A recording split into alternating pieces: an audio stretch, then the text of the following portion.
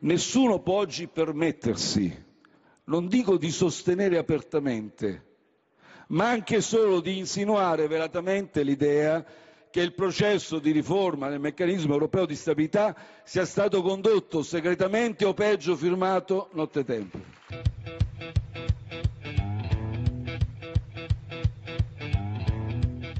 E mi sono sorpreso, se posso dirlo, non della condotta del senatore Salvini, la cui disinvoltura a restituire la verità, la cui resistenza a studiare i dossier mi sono ben note, quanto del comportamento Deputato Borghi. deputata Meloni.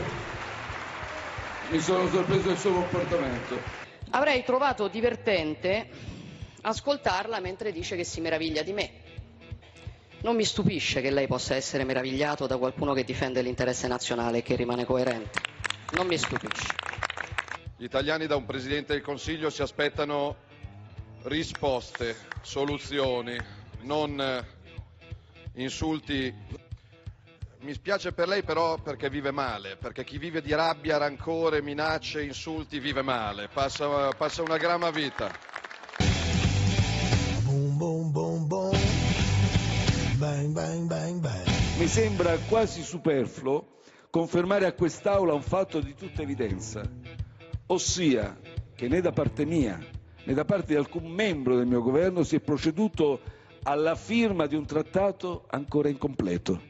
Perché quando esce l'ANSA oggi pomeriggio in cui l'Eurogruppo dice il MES è approvato, cosa fatta a capo A, prima si vota meglio è. Quando il ministro Gualtieri in commissione dice non è emendabile, è così, o mangi sta minestra o salti sta finestra. A quei banchi c'è qualcuno che mente. Decidete voi se sta mentendo il presidente Conte o se sta mentendo il ministro Gualtieri. Salutiamo quindi la decisione presa nel vertice di ieri sera, per cui nessuna luce verde sarà data all'Eurogruppo del 4 dicembre fino a che il Parlamento non si sarà espresso con le sue risoluzioni che precederanno l'Euro Summit del 12 dicembre. Qua se ne esce da questa situazione solo in modo.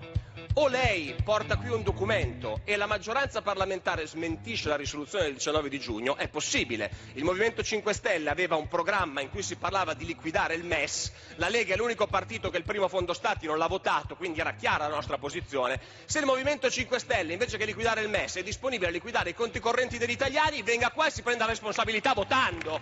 L'Italia, dato l'alto debito pubblico, è il paese che ha il maggiore interesse nazionale all'esistenza del MES.